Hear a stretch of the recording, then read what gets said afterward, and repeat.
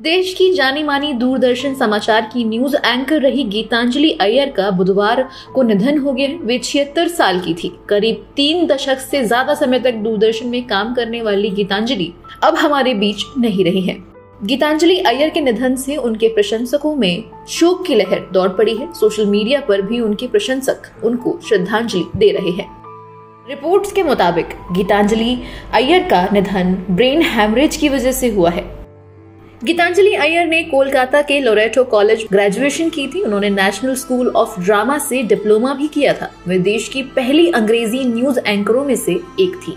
गीतांजलि अय्यर 1971 में दूरदर्शन से जुड़ी थी और चैनल के साथ करियर के दौरान उन्हें चार बार सर्वश्रेष्ठ एंकर का पुरस्कार मिला था। उन्नीस सौ उनासी में उन्हें उत्कृष्ट महिलाओं के सम्मान में दिया जाने वाला इंदिरा गांधी प्रियदर्शनी पुरस्कार भी मिला था।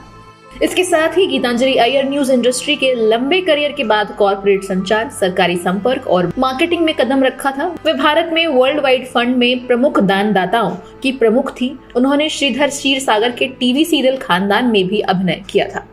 इस दुखद खबर से पूरे मीडिया इंडस्ट्री और पूरे देश में शोक की लहर दौड़ पड़ी है।